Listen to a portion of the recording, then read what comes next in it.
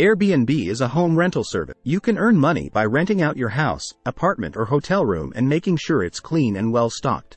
This is great if you have a spare room that isn't being used much, or if your family has retired to Costa Rica but still wants to stay connected with friends who live in New York City. You can also promote Airbnb as an opportunity for freelancers to find new clients through social media platforms like Twitter and Instagram. You can also write reviews on platforms like TripAdvisor that focus more on the customer experience than price points and thus might be more relevant for someone looking for low-cost lodging. Starbucks Starbucks is a well-known coffee chain that sells hot beverages, coffee and food. The company has over 18,000 locations in more than 70 countries around the world.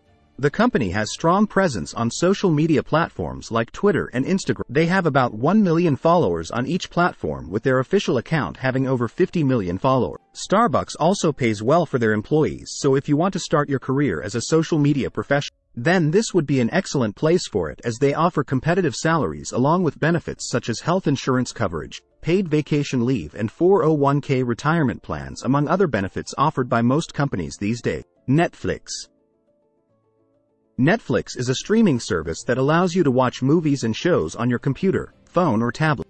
Netflix has a great culture, with many benefits for employees. They offer unlimited vacation time, health care benefits, including dental, retirement plans, stock options and discounted tuition at their university partners around the world. You can now apply for a job as a social media influencer.